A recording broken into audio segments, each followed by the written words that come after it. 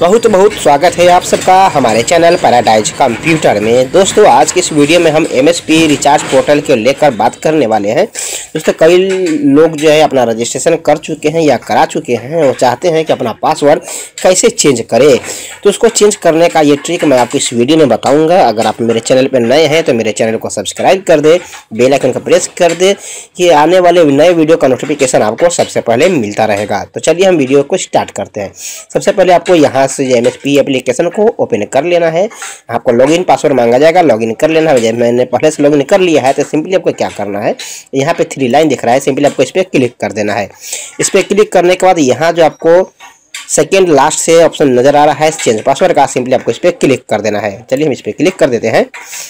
इस पर क्लिक करने के बाद यहाँ पे आपको करेंट पासवर्ड यहाँ न्यू पासवर्ड यहाँ कन्फर्म पासवर्ड करने के लिए कहेगा। उसके बाद सेव चेंजेस पे क्लिक करना है।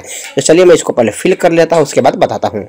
जैसा कि हमने सारा डिटेल फिल कर दिया है और यहाँ पर आपको सेफ़ चेंजेस का ऑप्शन क्लिक कर, करना है। इस पर क्लिक करते ही आपको कन्फर्मेशन दिखा देगा। यहाँ देख दिया है success your password is successfully change यानी आपका पासवर्ड जो है चेंज हो चुका है। तो इस तरह से जो आप एमएसपी रिचार्ज पोर्टल में अपना पासवर्ड को चेंज कर सकते हैं या रिसेट कर सकते हैं। उम्मीद है आपको ये वीडियो पसंद आए तो हमारे वीडियो को लाइक करें। और नेक्स्ट वीडियो में बताऊँगा कैसे पासवर्ड को रिसेट करते हैं। जैसे अगर आप पासवर्ड भूल जाते हैं तो उसको कैसे रिसेट करना है वो मैं आपको नेक्स्ट वीडियो में बताऊँगा। और आज की वीडियो में इतना ही। जय हिंद जय भारत।